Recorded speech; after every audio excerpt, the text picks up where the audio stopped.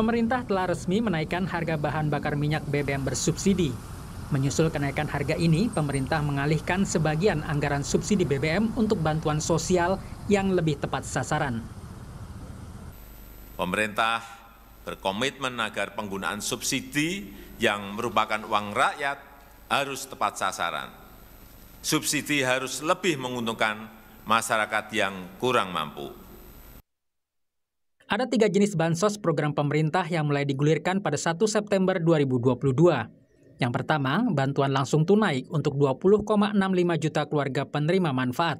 Setiap keluarga akan menerima Rp600.000. Bantuan ini akan disalurkan lewat PT Pos Indonesia dan dibayarkan dalam dua termin dengan besaran masing-masing Rp300.000.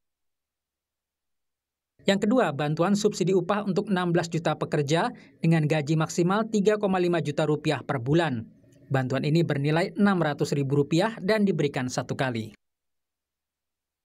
Kemudian ada bantuan yang dialokasikan pemerintah daerah dengan memanfaatkan 2% dana alokasi umum dan dana bagi hasil sebesar 2,17 triliun rupiah.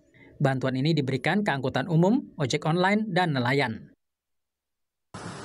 Namun Direktur Eksekutif Indef Tauhid Ahmad menyebut nilai bansos yang diberikan pemerintah terlalu kecil dan tidak bisa menutup kebutuhan sehari-hari masyarakat.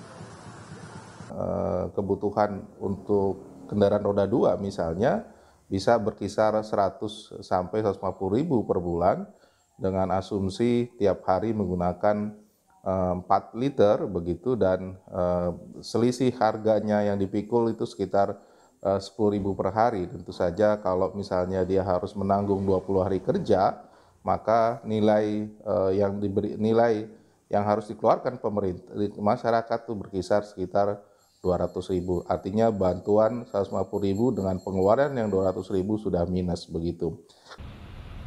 Masyarakat khawatir naiknya harga BBM bersubsidi akan berdampak pada semua sektor termasuk pangan dan transportasi. Ya, kenaikan harga. Apalagi kan bahan pokok sekarang kan pada naik. Terus apa BBM juga naik karena kan itu emang kebutuhan.